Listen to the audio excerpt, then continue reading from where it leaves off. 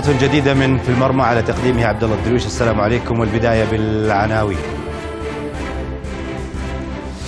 الإماراتي الرميتي ينسحب من سباق رئاسة الاتحاد الآسيوي ويقدم ملفه لسلمان الخليفة. تجريبية السعودية والإمارات تنتهي بخسارة الأخضر. والأولمبي السعودي يدشن رحلته نحو أولمبياد طوكيو بمواجهة جزر المالديف. مدرب الوحدة الجديد يصل ورئيس النادي يوضح للعربية ما دار بينه والعمري جزائري أحد صداقتي مع جوميز تتوقف في مباراة السبت أمام الهلال.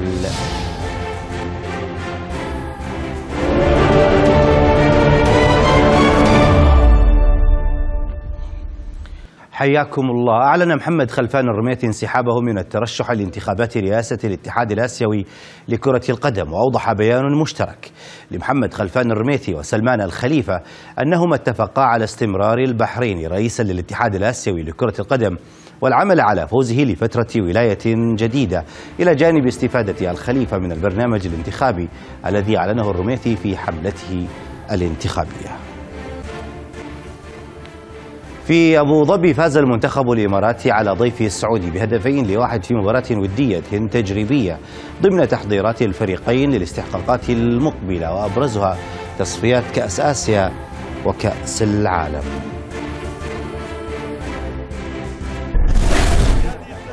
لقاء بقيادة مدربين مؤقتين وبوجوه جديدة تمثل المنتخبين. هكذا كانت حلة الأخضر السعودي ونظيره الإماراتي في هذه المباراة. أولى المحاولات جاءت في الدقيقة السابعة من طرف الضيوف عبر تسديدة حسن الحبيب قبل أن يبعدها الحارس خالد عيسى. وبعدها بعشر دقائق افتتح عبد الفتاح آدم التسجيل للمنتخب السعودي بعد إبعاد خاطئ من طرف الدفاع. وهذه المرة لم يحرك الحارس خالد عيسى ساكنا. في الدقيقة السابعة والعشرين القائم يعاند أصحاب الأرض ويحرم علي مبخوت من تسجيل هدف التعادل لينتهي الشوط الأول على وقع تقدم المنتخب السعودي. الشوط الثاني حمل رياح التغيير لمنتخب الإمارات الذي رمى بكل ثقله في الهجوم بغية العودة في النتيجة وكان له ما أراد بعد ضغط قوي ومن هجمة منسقة بين لاعبي الأبيض توجه بندر الأحبابي بهدف التعادل في الدقيقة الرابعة والخمسين. ضغط أصحاب الأرض تواصل بعد تعديل النتيجة وأثمر عن هدف ثاني في الدقيقة الثالثة والستين بعد كرة عرضية. انبر لها علي مبخوت مسكنا الكرة في شباك مصطفى ملائكة وتحت أنظار المدرب الجديد للأبيض بيرد فان مارفيك. المنتخب السعودي عاد للضغط الهجومي بغية تعديل النتيجة. إلا أن محاولاته لم تعرف طريقها للمرمى إضافة إلى تألق خالد عيسى في مناسبات عدة. فيما لم تحمل الدقائق المتبقية أي جديد على مستوى النتيجة. ليحقق المنتخب الإماراتي فوزه السابع في تاريخه على نظيره السعودي.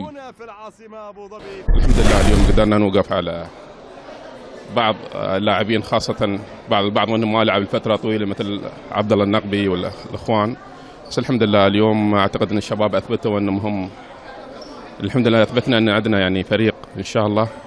يكون إن شاء الله بمزيد من التجارب ومزيد من المباريات القادمة إن شاء الله بيكون إن شاء الله من الفرق إن شاء الله اللي تنافس على الصعود إن شاء الله في تصفيات كأس العالم الشهر 9 استدعينا 25 لاعب وكان هدفنا إحنا نجرب جميع ال 25 لاعب هذيلا للوقوف على استعداداتهم. وإن شاء الله مدرب كابتن سليم مثل ما شفتوا اليوم اعطى كثير من الاستحقاقات. وإن شاء الله اللاعبين اللي ما لعبوا اليوم إن شاء الله بيكونوا متواجدين إن شاء الله في المباراة الجاية. كانت عندنا أهداف إحنا من خلال هذه المباراة إعطاء فرص كافية لبعض اللاعبين. إحنا تقريبا 100% من الموجودين. ما قد شاركوا المنتخب الأول يمكن مشاركتهم كانت ضئيلة أو معدومة. لكن الحمد لله إحنا من خلال هذه الأهداف اطمأنينا على بعض اللاعبين. تواجدهم في هذه الفترة في أيام الفيفا. أنا أعتقد أتاحت لهم الفرصة أننا نركز عليهم في المستقبل. قدموا مباراة حسب الفترة الوجيزة اللي إحنا عسكرنا فيها خلال ثلاثة أيام مثلنا مثل أي منتخب. ولكن التجمع كان بالنسبة لنا له فوائد كثيرة. الحمد لله اللاعبين بصراحة قدموا مباراة كبيرة خارج الأرض بادروا بالتسجيل. يمكن كانت فيها أخطاء هذه تحتاج إلى وقت لمعالجتها. ما كان في وقت إنها ممكن تتعالج من خلال الأيام القصيرة. لكن أشكرهم على جهدهم بصراحة في الحقيقة. يعني سيروا المباراة في أوقات في وقت من, من الأوقات بالشكل اللي إحنا نبغاه. أمام لاعبين لهم خبرة كبيرة جدا في المنتخب الاماراتي نحترمهم ونقدرهم. آه، يشكروا على الجهد بصراحة لاعبينا. إحنا خارجين من موسم مرهق جدا وعندنا اختيارات كثيرة متعددة. والحمد لله إحنا بالنسبة لل 23 لاعب اللي موجودين في المعسكر كلهم في مستوى واحد. آه، من خلال آه، مرحلة الاستشفاء اللي حنشرف عليها بكرة من خلال التدريب المسائي حيبان حالة بعض اللاعبين لكن ما يمنع إن إحنا نعطي فرصة للجميع. الكل الكل ياخذ فرصته. آه، في هذه الفترة اللي إحنا محددينها من ضمن أهدافها أننا نعطي فرص لكثير من الأسماء اللي ممكن يكون لها إضافة في المستقبل. أهم شيء أخذنا المباراة بس آه، باقي بعد الشغل علينا وايد كفريق جديد وجهة جديدة وايد لعيبة فإن شاء الله يعني. هاي فوز معنوي وإن شاء الله عندنا مباراة مع سوريا إن شاء الله ندي مباراة زينة. كانت مباراة صعبة بشكل عام يعني المنتخبات السعودية معروفة يعني ب يعني حتى لو كانوا صغار أو كبار دائما هم لعيبة ممتازين. الحمد لله نحن بعد كنا ممتازين يعني كنا متأخرين بهدف دشينا الشوط الثاني وسجلنا هدفين يعني اخذنا المهم يعني.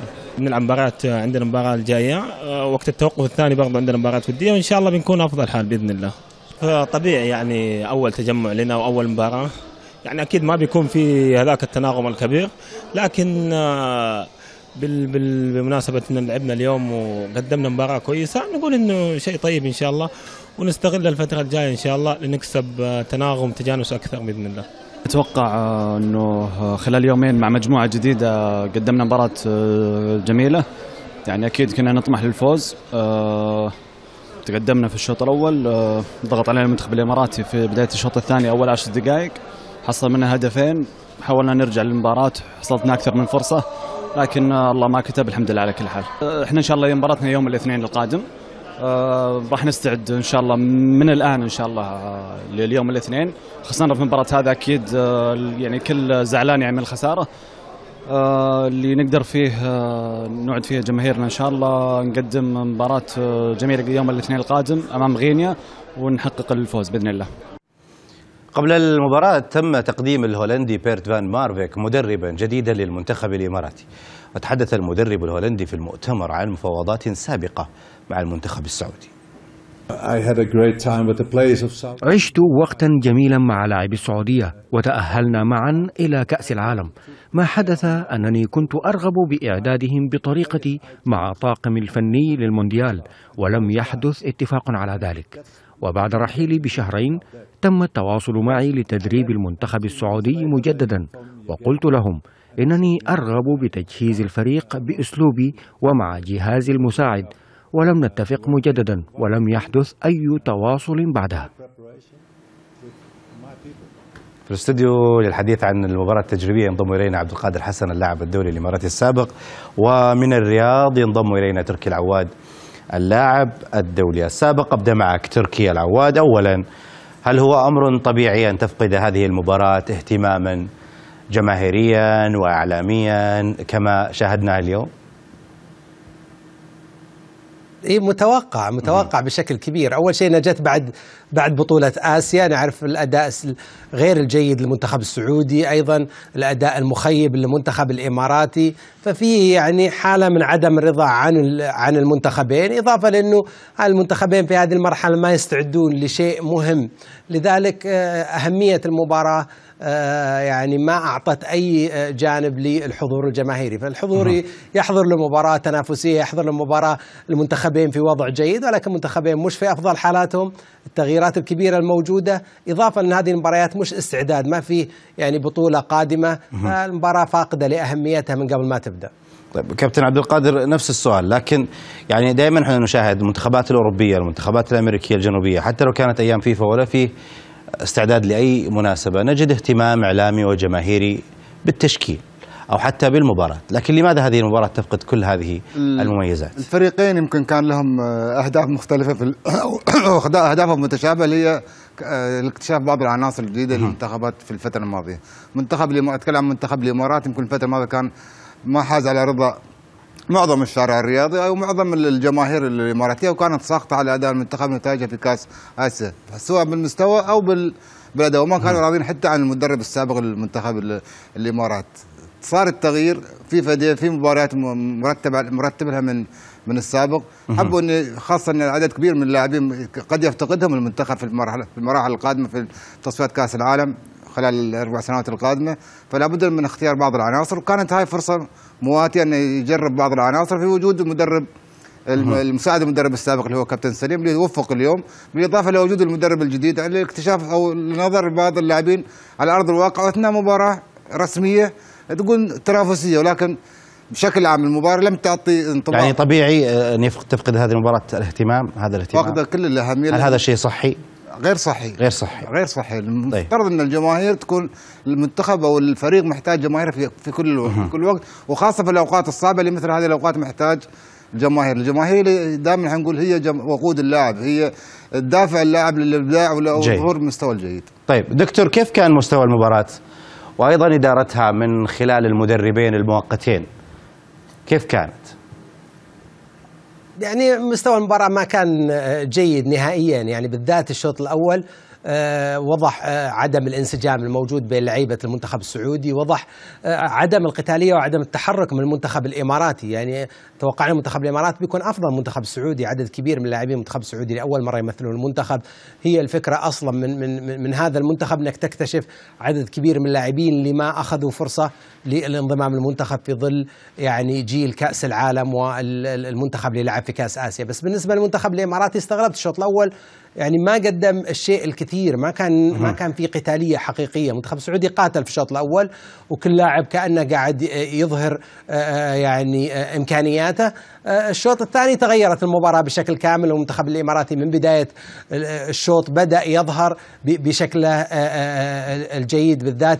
خلفان مبارك أعتقد لاعب جدا جدا رائع قدر إنه يعني يتحرك بشكل ذكي جدا ويستغل عدم يعني آه، الانسجام بين اللاعبين في المنتخب السعودي ويساهم في الهدف الأول ويصنع آه، آه، ال- الهدف الثاني. أيضا علي مبخوت كان ذكي في تحركاته وضرب المدافعين في أكثر من كره شفناه في الشوط الأول كاد يسجل هدف لكن في الشوط الثاني قدر يسجل وأيضا في أكثر من كره كان قادر إنه يعني آه، يستغل هالضعف بين خبراني وبين زياد الصحفي. ولكن بشكل عام إذا ما يعني تكلمنا عن آه، يعني أهم المكاسب اللي ظهر فيها المنتخب. أنا أعتقد إنه أحمد الزين مصطفى ملائكة جيد. آه، مد الله. يعني ع- ثلاثة أربع لاعبين ظهروا من المنتخب بكل تأكيد بيكون لهم آه، مكان في المنتخب القادم. طيب كابتن عبد القادر يعني نفس السؤال ولكن في الجانب الإماراتي. يعني هل بدأ ال- ال- المدرب بالتشكيل المناسب؟ والشوط الأول يعني في اتفاق من الجميع بأنه لم يكن المنتخب الإماراتي في مستوى الجيد. هل كانت تدخلاته سليمة وممتازة؟ هي يمكن التغيير اللي صار في التغييرات اللي حدثها في ال- في الشوط الثاني اللي هي غيرت شكل شكل الفريق وأعطى الفريق نوعا ما حرية أكثر في في الناحية الهجومية. يمكن بدأ الشوط الأول حاسين كان نلعب بالبزاكروني. علي مبخوت بالمقدمة والبقية ينتظرون الكرة الطويلة لعلي مبخوت وعلي مبخوت شو بيسوي؟ الوحدة في ال- في المنطقة الأمامية. لما خسر الفريق واحد أنا غرقان وما خوفي من البللي. ففي الطب الطبيعي بدا يت- يتحرك من الأطراف. بندر بدا يتحرك بشكل بشكل جيد. خلفان مثل ما ذكر كابتن تركي أيضا تحرك بشكل جيد وصار قريب من من علي مبخوت. هم يلعبون في في نفس النادي وصار قريب من بعض فاهمين بعض في تحركات بعضهم ال- البعض. لاحظنا في وسط الملعب أيضا عبد الله النقبي بدا يزيد في, صار هناك أكثر من لاعب في منطقة جزاء الفريق السعودي وبهذه الطريقة قدر إنه يحقق أو يوفر بعض الفرص ويقدر إنه يسجل هدفين منها في هذه المباراة.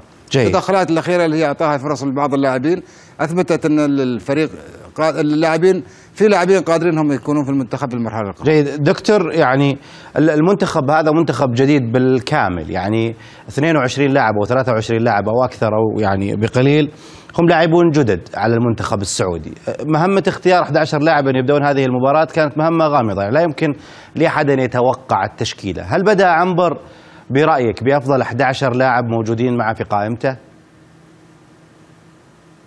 يعني مقبول بالنسبة لاختيارات كانت جيدة ما كان عنده مشكلة في الشوط الأول.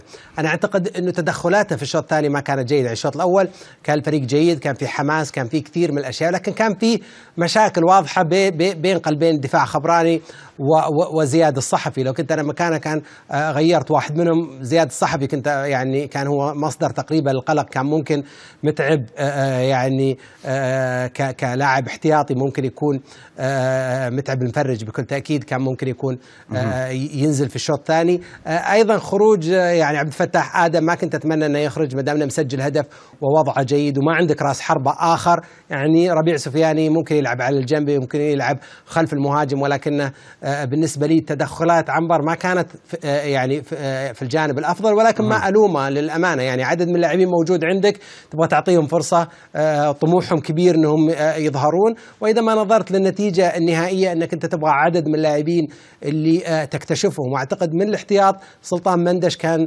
يعني نقطة فارقة. لما نزل غير الفريق بشكل كبير وقدرنا يوصل للمرمى أكثر من مرة ولمساته وثقته في نفسه كبيرة. حتى ربيع سفياني كاد يسجل وكاد إنه يعني يساعد الفريق ولكن غياب ال- ال- التغيير بين الشوطين كنت أتمنى انه يغير بين الشوطين. هو ما جعل المنتخب السعودي تقريبا خلال ربع ساعة الأولى من الشوط أقل عكس الإمارات جيد. كانوا داخلين بروح وتغيير كبير فكان في حماس أكبر جيد في المباراة كان في جدية من اللاعبين أو أنهم فعلا حتى هم أعطونا رسائل بأنها مباراة تجريبية لا قيمة لها. هي حس- حسستنا من بدايتها إنها مباراة ودية حتى من مباراة- اللاعبين يعني اللاعب إذا بدأت المباراة بدأت المباراة بطيئة جدا بدأت المباراة ما في فرص حتى الشوط الأول اللي فرص عادية يعني يمكن قليلة وتعاد على على الأصابع لكن في الشوط الثاني حسوا بمش أو شعروا بمسؤوليتهم أثناء المباراة إنه لابد إنه يقدمون شيء لل على الأقل الناس اللي أمام التلفزيون مو باللي في الملعب لأن الملعب كان من غير من غير جماهير. حسوا بقيمة المباراة نوعا ما. شفنا زاد الرتم شوية نوعا ما في في الشوط الثاني. شفنا حركة أكثر خاصة من الفريق من قبل فريق الإمارات لأنه يعني على الإمارات النتيجة. عندهم اللاعب الإماراتي عنده حافز. في مدرب جالس يتفرج عليهم في. المدرجات. صحيح. هذا حافز ممكن أكيد الكل لاعب داخل الملعب يبغى يثبت للمدرب إنه هو جدير باختيارات المدرب السابق أو بثقة المدرب الجديد في المرحله آه، القادمة. فهذه يمكن أعطتهم نوع من من من الأريحية ونوع من من بذل الجهد أكثر في الشوط الأول. الفريق السعودي قدم مباراة جيدة. خان يمكن التوفيق في بعض الفرص جيد. ولكن في النهاية هي هي كرة قدم. جيد. دكتور ما هي الفائدة من هذه المباراة على المنتخب السعودي؟ يعني هل هناك فعلا فائدة على المنتخب السعودي من هذه المباراة؟ أو حتى من هذا التشكيل اللي آه، يتأكد كثير من المتابعين بأنها تشكيلة لن تستمر مع المنتخب السعودي. ممكن بعض الأسماء تبقى والكثير منها يعود إلى نادي. يعني هل فعلا هناك فائدة سيستفيدها المنتخب السعودي مستقبلا من هذه المباراة؟ أكيد أكيد. عدد من اللاعبين اللي شفناهم اليوم ترى المنتخب السعودي يعني اليوم خان عدم التفاهم يعني ما في تفاهم بين اللاعبين ولكن كإمكانيات فردية أظهر عدد من اللاعبين إنهم جيدين وقادرين يلعبون آه، في المنتخب. الحماس اللي ظهروا عليه بشكل كبير بالنسبة لي اليوم أحمد الزين أظهر إنه ممكن آه، يكون لاعب منتخب آه، في المستقبل بشكل كبير ممكن ينضج ممكن هذه المباراة يعني تعطيه بعد مختلف ل- لأداء. شفنا أداء لما كان في التعاون شفنا أداء في القادسية يعني في جانب من التهاون في جانب من استخدام المهاره الفردية بزيادة. أنا حسيت انه في هذه المباراة يعني آه، قدم آه، مباراة بجدية أكبر. عبد الفتاح أيضا آه، يعني آدم قدم مباراة جدا رائعة وممكن يبني على هذه المباراة. مد الله لأول مرة ينضم للمنتخب ويعني في الظهير ال- ال- الأيمن قدم مباراة رائعة. مصطفى ملائكة عاد اكتشاف نفسه من جديد وأعتقد إنه إحنا دائما نشتكي انه ما في إلا محمد العويس. الآن في ثقة كبيرة قدم مباراة رائعة ويعني ساعد فريقه في البقاء في المباراة في الشوط الأول. وفي الشوط الثاني ففي عدة مكاسب مقارنة بالظروف ال- الموجودة. أنت ما تبغى تأخذ اللاعبين اللي راحوا لكأس العالم واللي مرهقين واللي لعبوا في كأس آسيا طيب كابتن يعني اسمح لي اسمح لي هنا كابتن. كابتن يعني كل كل اللاعبين اللي اللي يشاركون الآن بأيام فيفا هم مرتبطين مع أنديتهم الأوروبية وبالتزامات هي أكبر من الالتزامات الموجودة في الكرة السعودية وبطولات أيضا شاركوا فيها كأس العالم. ومع ذلك أنديتهم أو منتخباتهم تستدعيهم لأيام فيفا. ليش هذا ما صار مع المنتخب السعودي؟ آه, آه صحيح. آه صحيح.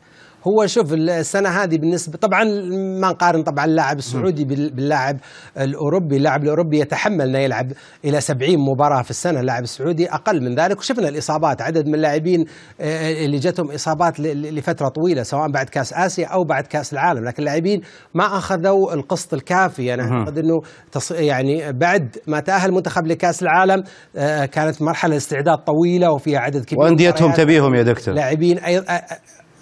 والضغط السنة هذه يعني تعرف إنه بالذات اللاعبين موجودين في الهلال في الأهلي في النصر في الاتحاد يعني الفرق اللي أصلا موجودة في كأس آسيا وموجودة في البطولة العربية وعندها مشاركات محلية فهذا الضغط ممكن يسبب إصابات للاعب مثل فهد المولد لاعب مثل سالم الدوسري لاعب مثل مقهوي عدد من اللاعبين اللي استمروا يلعبون طيب. أعتقد هذه المباراة لأنه أنت ما تستعد لشيء هي فرصة لاكتشاف وجوه جديدة إضافة لأنك أنت ما تبغى أيضا اللاعبين المرهقين يتعرضون للإصابة. جيد. تركي العواد من الرياض كنت معنا. شكرا جزيلا لك. وهنا في الاستديو الكابتن عبد القادر حسن. شكرا جزيلا لك. حياك الله.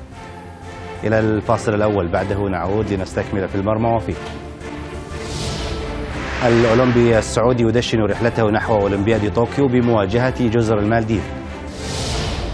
مدرب الوحدة الجديد يصل رئيس النادي يوضح للعربية ما دار بينه والعمري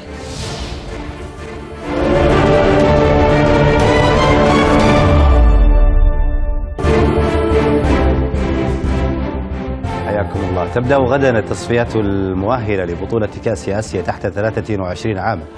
وتستقبل السعودية في الرياض منافسات المجموعة الرابعة التي تضم الإمارات المالديف ولبنان. وستلعب السعودية في أول مباراة لها أمام جزر المالديف. وسيتأهل متصدر كل مجموعة إلى بطولة آسيا إضافة إلى أفضل خمسة منتخبات تحتل المركز الثاني. وبعدها ستتأهل ثلاثة منتخبات من كأس آسيا إلى أولمبياد طوكيو 2020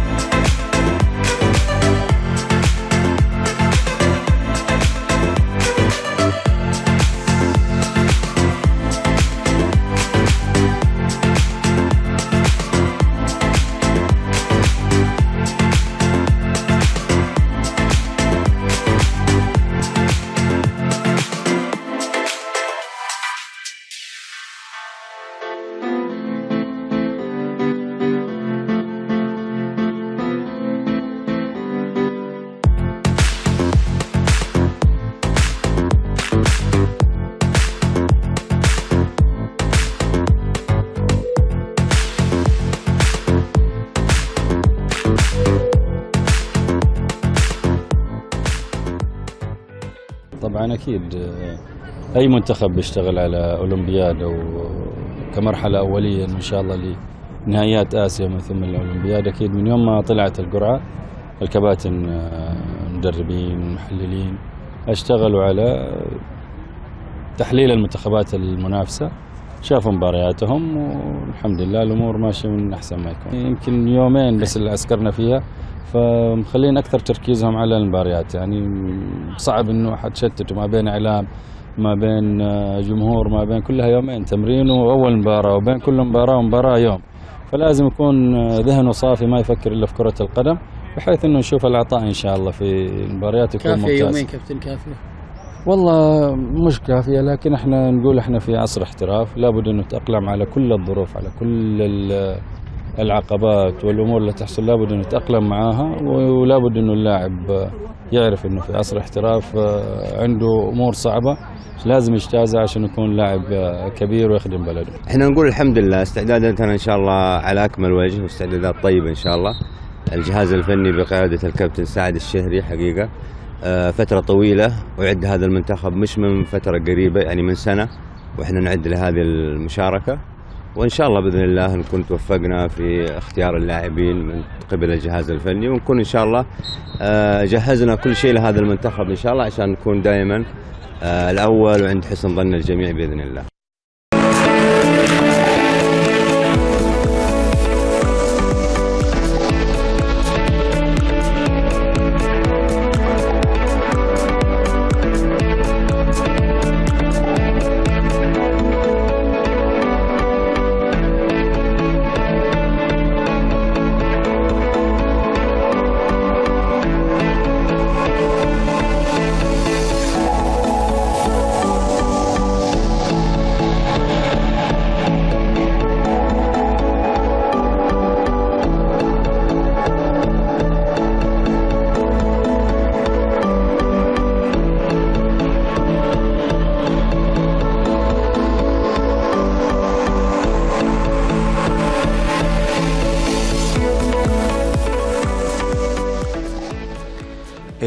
الخبر ينضم إلينا من هناك سعود كريري اللاعب الدولي السابق.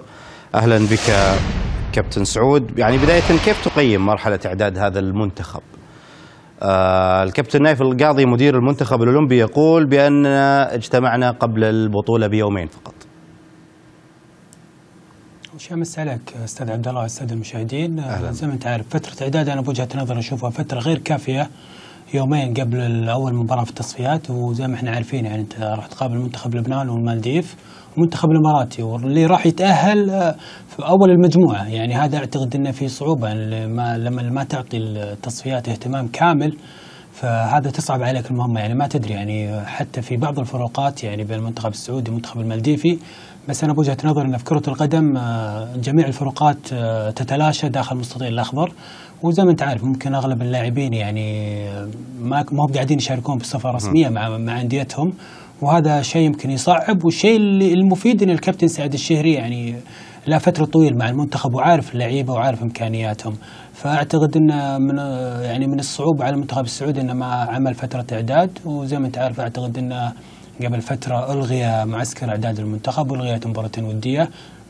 بسبب الأندية يعني ورغم أن اللاعبين مو قاعدين يشاركون يعني الأغلبية بصفة مستمرة مع مع فرقهم. طيب يعني هذه هذه نقطة أيضا سلبية كابتن سعود إذا إذا اتفقت معي بأنه أنت حتى اللاعبين وبعد تأخر استدعائهم هم أصلا لا يشاركون مع أنديتهم يعني ما عدا يمكن آه، سعود عبد الحميد لاعب الاتحاد الظهير الأيمن.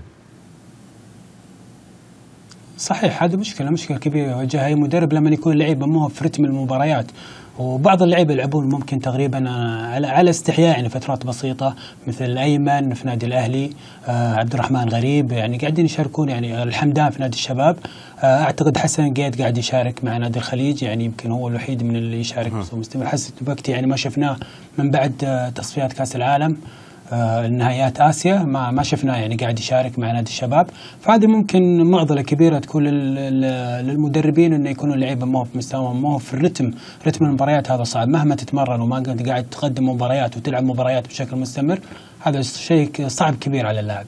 طيب آه، وش كيف المفروض يلعب الكابتن سعد الشهري دام أول مباراة مع جزر المالديف؟ يعني منتخب آه، متواضع كثيرا أمام المنتخب السعودي. كيف يجب أن يلعب؟ الكابتن سعد الشهري هذه المباراة خاصة أنه على أرضك وبين جماهيرك.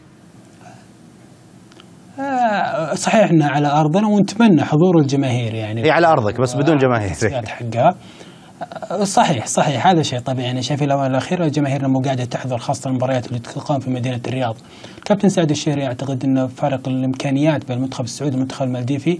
أعتقد لابد إنه يبدأ من بداية المباراة إنه يحاول إنه يحسم المباراة من بدايتها.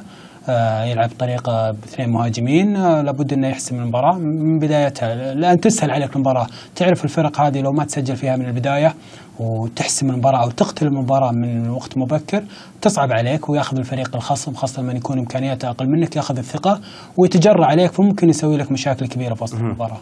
طيب كابتن تعتقد إنه في خلل في ترتيب الأولويات؟ آه والأهم ثم الأقل أهمية بالنسبة للمنتخبات؟ يعني بالوقت اللي المنتخب الأولمبي عنده مشاركة مهمة تصفيات كاس آسيا اللي في مجموعة فيها أربع منتخبات يشارك فقط المنتخب الأول أو يتأهل منها المنتخب الأول يكون هناك في معسكر في إسبانيا تحت 20 سنة.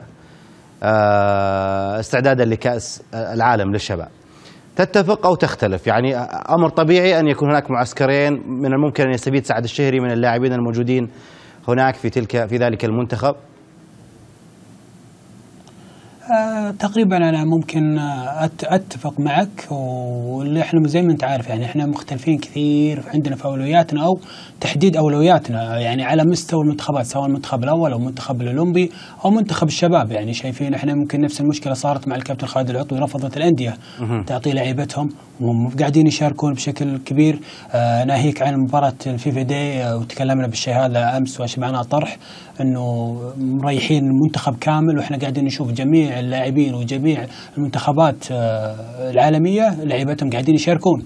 صحيح. استدعوهم في الدوري عندك واقف. ليش أنا ما أستفيد من لعيبتي وأستفيد من المباريات الودية؟ آه منها يعني صحيح إن عندنا مدرب مؤقت الكابتن يوسف عنبر. فهي نفس يعني نفس المشاكل عندنا قاعدة تتكرر. وزي ما قلت وأرجع أقولها إحنا نخطي خطوة إلى الأمام ونعود عشر خطوات إلى الخلف. هل يحاسب هذا المنتخب على أي شيء مستقبلا فيما لو خرج من هذه التصفيات؟ يحاسب؟ يعني هل اعطي الفترة الكافية للعمل أو أنه يعني على قد رجولهم يمدون الحافظ؟ والله ممكن أتفق معك ببعض الشيء يعني من حديثك أعتقد إن المنتخب ما يحاسب ولا يحاسب الكابتن سعد الشهري آه، صحيح إن الكابتن سعد الشهري عارف اللاعبين وممكن هذا الشيء نقطة إيجابية تفيد المنتخب إنه مدرب آه، عارف اللعيبة يمكن من الفئات السنية واشتغل معهم سواء في الأندية أو في المنتخبات ممكن هذه النقطة الإيجابية. بس ان المنتخب أنا لو أشوف ب- لو ما تأهل ما أقدر ألومه أو أحاسب أي أحد من الجهاز الفني سواء الكابتن سعد الشهري أو الكابتن مندر الاحمري أو الك- الكابتن نايف القاضي ما ما تقدر إنك تحملهم أي مسؤوليات. من الخبر الكابتن آه، سعود كريري كنت معنا. شكرا جزيلا لك. وصل مدرب الوحدة الجديدة الأرجنتيني براون لبدء مهمته كما التقى الزميل محمد دماس الرئيس حاتم خيمي وسأله عن عبد الإله العمري وكيف يرد على خسارة النصر وتعادل الهلال.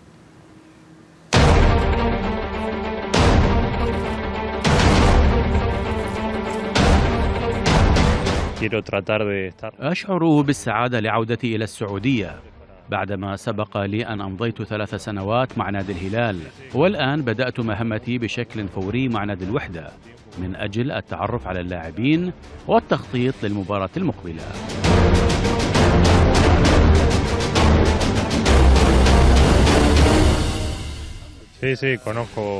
من لاعبي الوحدة حاليا أعرف الزوري وفيصل درويش وتابعت بعضا من مباريات الدوري السعودي في الفترة الماضية. لكن الأمر يحتاج للتعامل بشكل شخصي مع اللاعبين وليس الاكتفاء بما تراه على شاشة التلفزيون.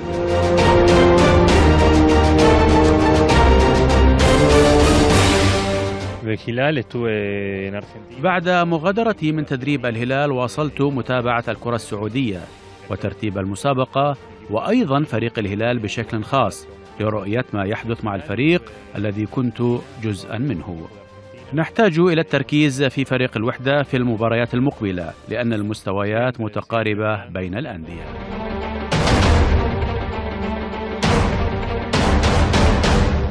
كل الناس شافوا كيف غيرنا. كاريلي هو طلب يمشي كابتن ميدو كيف مشي.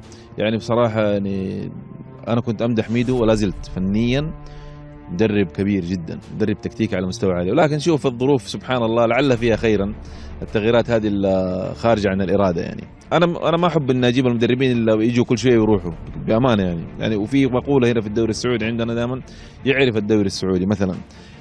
لكن اللي باقي في المشكلة هنا إيش؟ باقي في الدوري السعودي يمكن شهر ونص فقط لا غير، مش ستة شهور أو خمسة شهور شهر ونص. فالموضوع جدا صعب. وعندنا مباريات مهمة في الدوري وعندنا الكاس كاس الملك. البطوله الغالية هذه والكبيرة ونتأمل إن شاء الله ربنا يوفقنا في تحقيقها. ففك فوصلنا إنه آه، مستر خوان الموسم الماضي كان هنا هذا واحد. اثنين نتفائل فيه يعني استلم الهلال فترة صعبة وحقق بطولة الدوري مع الهلال. فأيضا سألنا عن المدرب بكل أمانة كان في اتصالات ك- كثيرة أنا والكابتن عبد الله خوقير بمسؤولين في الهلال بشخصيات بلاعبين عندنا الزوري وفيصل درويش كانوا كانوا معاه الموسم الماضي فما شاء الله ثناء كبير عليه يعني بعد مباراة النصر تداولت بعض الأحاديث عن عبد الله العمري آه، كيف ترى ذلك؟ هل سيؤثر على اللاعب؟ هل لك رؤية أنت خاصة كلاعب رئيس النادي في ذلك الأمر؟ آه، أول شيء آه، بعد المباراة يمكن طبعا أنا كنت زعلان مرة من النتيجة أربعة ما يستحق نادي الوحدة في الفترات هذه زمان ولا زمن هذا بالنسبة هذا الزمن بالنسبة للوحدة بكل أمانة. ولكن كرة القدم يحدث فيها الفرق العالمية بتهزم بالنتيجة هذه. فأنا كنت زعلان. ممكن تتصل الآن تخلص المقابلة اتصل بعبد الله قول له حاتم أكلمك الساعة كم؟ كلمته في الساعة 12 ونص واحدة كذا في الليل. وقلت له إحنا معاك كلنا ثقة فيك.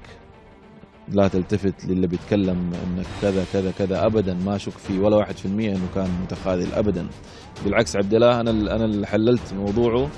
حتى هو قال لي قال لي والله كنت من أكثر المباريات مركز فيها. قلت له هذا اللي خلى أدائك يعني أعطى أعطى مفعول عكسي.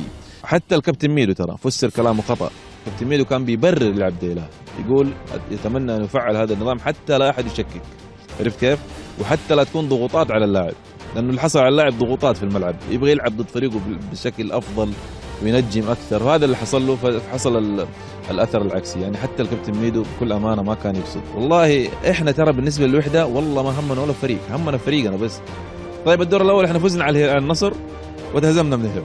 الدروع كان غير يعني. شوف أوريك يعني التفاهات والأشياء هذه. في ناس معذورة. في ناس يعني ما تقصد تنساق وكذا. لكن في ناس لا لها أهداف. آه، خبيثة. بكل أمانة آسف على العبارة.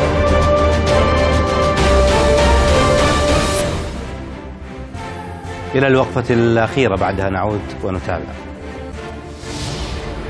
جزائري أحد صداقتي مع جوميز تتوقف في مباراة السبت أمام الهلال.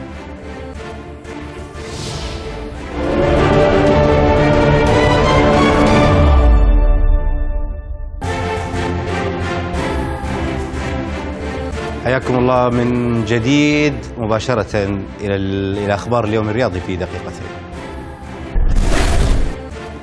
استقبل الأمير عبد العزيز بن تركي الفيصل رئيس هيئة الرياضة اللاعب علي الماس بعد تحقيقه الميدالية الذهبية السعودية الأولى في تاريخ البطولات الآسيوية للناشئين في ألعاب القوى وذلك في سباق 100 متر. تتواصل تدريبات المنتخب السعودي تحت عشرين عاما في معسكره بمدينة مرسيا الإسبانية والذي يمتد حتى السادس والعشرين من الشهر الحالي ضمن الاستعدادات لكأس العالم في بولندا. تغلب القادسية وديا على النجم البحريني بهدفين مقابل هدف في المواجهة التي احتضنها ملعب الأمير محمد بن فهد بالدمام ضمن استعدادات الفريق السعودي للموسم للدوري السعودي وسجل ثنائيات القادسية كل من الإلتون جوزيه وجورجي سيلفا. دعت لجنة الانضباط والأخلاق في الاتحاد السعودي عبر الحساب الرسمي للاتحاد المختصين والمهتمين لتقديم مقترحاتهم وملاحظاتهم بهدف تطوير اللائحة الخاصة باللجنة وذلك خلال 15 يوما من تاريخها. أكد الكرواتي زوران ماميتش مدرب الهلال أن البرازيلي إدواردو سيصل الجمعة ويلتحق بالتدريبات بعد اتخاذ الخطوات الاعتيادية الطبية وذلك في تصريح له بثه حساب تويتر لنادي الهلال. يلتقي الفيحاء السعودي مع أجمان الإمارات وديا اليوم الجمعة في إطار معسكر النادي السعودي في الإمارات وهذه ثالث مباراة ودية للفيحاء في دبي. واختتمت في العاصمة الإماراتية أبو ظبي الألعاب الألعاب العالمية. الأولمبياد الخاص والذي عرف مشاركة ممثلي أكثر من 190 دولة وأكثر من 7500 رياضي ورياضية. في الكويت استهل نادي مضر السعودي مشاركته في بطولة الأندية الآسيوية لكرة اليد بالتعادل أمام نادي الصداقة اللبناني. للتذكير بانطلاق تصفيات كأس آسيا تحت 23 عاما حيث يلعب المنتخب السعودي الأولمبي مع ضيفه منتخب المالديف اليوم الجمعة في الثامنة وخمس وعشرين دقيقة مساء بتوقيت السعودية في الرياض ضمن المجموعة الرابعة. أما الجزائري كارل مجالي أكد في لقائه مع الزميل أحمد الرايقي أن المدينة المنورة كانت فرصة ذهبية لقبول التعاقد مع أحد. شكرا لكم على طيب المتابعة وأنا أستودعكم الله.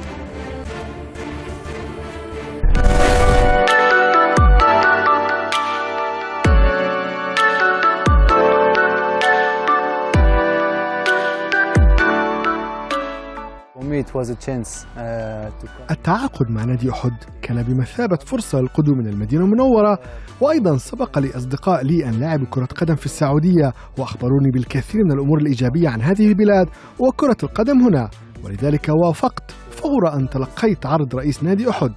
تكلمت سابقا مع حارس اتفاق رايس مبولحي وأيضا لاعب الهلال جوميز كلاهما صديقان لي وشجعاني على اللعب في السعودية وأخبراني بأنني سأشعر بالسعادة هنا. علاقتي مع جوميز بدأت منذ أن كنت في الثالث عشر من العمر عندما كنا معا في أكاديمية سانت تيان الفرنسي وأصبح واحدا من أقرب الأصدقاء لي وأنا أعرف عائلته وهو يعرف عائلتي وأثق به بشكل جيد وهو أقرب إلى أخ لي. لكن كرة القدم شيء مختلف لا صداقة في الميدان بل يجب تقديم ما لديك في المباريات. لا يمكن توقع ما يحدث في مستقبل كرة قدم وبعد نهاية الموسم الحالي سنرى ما يحدث لكنني أرغب بالاستمرار هنا في المدينة المنورة. اللاعب العربي يملك مهارات ويتمتع بالسرعة ويحب المراوغة ويمكنه التعامل مع الكرة في مساحات ضيقة. هذه أمور تساعد على النجاح.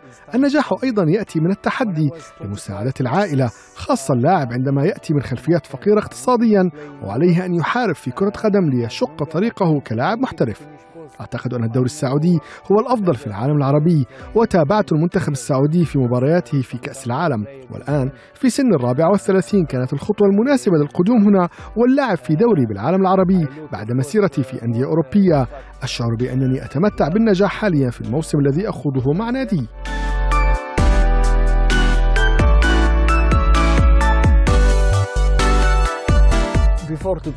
في تركيا وفرنسا واجهت عدة لاعبين باتوا الآن يلعبون في الدوري السعودي. لكنني أشعر بالحزن بسبب إصابة رايس بولحي حارس الاتفاق ونهاية الموسم بالنسبة له. أتطلع قدما لمواجهة جوميز في مباراة هلال وأحد يوم السبت وكما أخبرته سابقا سنترك صداقتنا جانبا في تلك المباراة. مستوى الدوري السعودي مرتفع وهو عكس ما يعتقده البعض في أوروبا الذين يملكون وجهة نظر غير صحيحة عن كرة القدم هنا. قبل قدومنا السعودية جاء العديد من معارفي لتأدية مناسك الحج والعمرة ولدى وصولي كانت فرصة مميزة لي لزيارة الأماكن المقدسة خاصة أنني من مواليد فرنسا ونشأت بها. أديت العمرة الأسبوع الماضي مع محمد فوزير وكان شعورا لا يوصف. العيش في المدينة المنورة والسعودية أمر مميز جدا فلا يملك الكثيرون مثل هذا الحظ الجيد للتواجد هنا وأشكر الله مرارا على هذا الأمر. أرغب بالتحدث باللغة العربية لكن نشأتي في فرنسا. جعلتني أتكلم الفرنسية. أنا جزائري أيضا وارتديت قميص منتخب بلاد الجزائر. ربما في المستقبل سأتعلمها لكن حاليا من الصعب أن أتحدث اللغة العربية باستثناء بعض الكلمات باللهجة الجزائرية. وش رأيك؟ لاباس أعطيني الخبز الماء.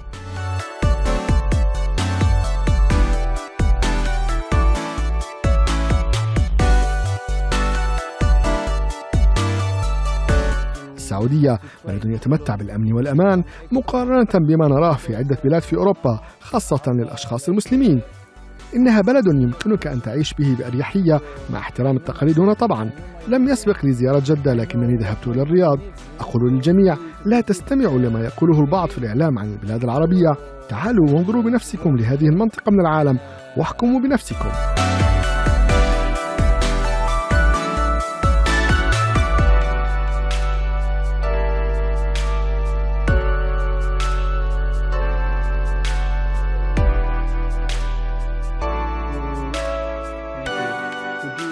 أحب النوم في الفترة الصباحية وأستيقظ في الثانية ظهرا لأجري اتصالا هاتفيا مع عائلتي زوجتي وابني أتابع التلفزيون ثم أرتاح وأذهب للحصة التدريبية في السادسة مساء والذي تستمر إلى التاسعة ثم إلى صالة اللياقة بالقرب من مكان سكني لتأدية برنامجي الخاص ثم السباحة وأنهي كل ذلك في الحادي عشرة ونصف مساء تقريبا ثم أتناول العشاء مع أصدقائي حيث تركيزي على الأكل الصحي كلاعب محترف وأعود بعدها إلى فندقي لنيل قسط من الراحة.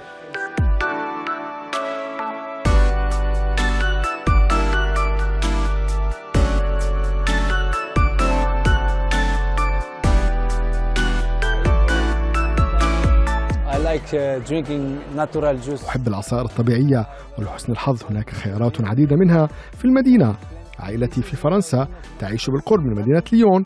عقدي يمتد لستة أشهر ولذلك قررت أن يستمر هناك خاصة أن المدارس ما زالت في منتصف السنة الدراسية. قررت التضحية براحتي من أجل مستقبلهم وبعد اعتزالي سأملك رفاهية تمضية الوقت معهم وتأدية دور الأب الجيد لابني.